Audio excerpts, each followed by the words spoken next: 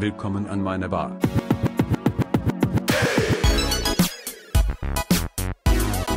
Hello, everybody. Uh, today we'd like to introduce you to our Barney Barista, uh, our coffee centric robotic bar. Uh, it is a version which is similar to our Barney Bar, which is focused on cocktails, but this one has a strong coffee focus.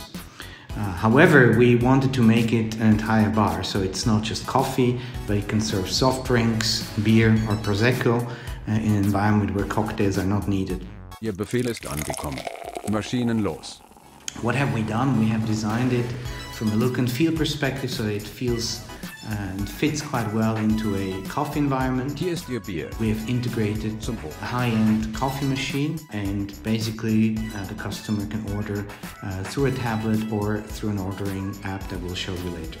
Finally, uh, you know, what were really the design objectives by doing that? Uh, first, we wanted to leverage the technical platform that we already had and has proven in many situations for Barney Bar. Uh, we also want to make sure that our software controls all the components electronically Ihre Cola ist bereit. so there's not manually touching the coffee machine, it's all controlled through our software.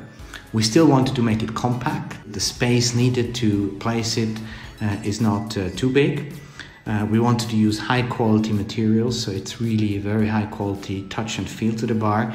And of course, we still want to add and added entertainment components through sound and videos to make the serving process not just getting coffee out of a machine, but really make it entertaining. Chuck Norris trinkt seinen Kaffee schwarz. Ohne Wasser.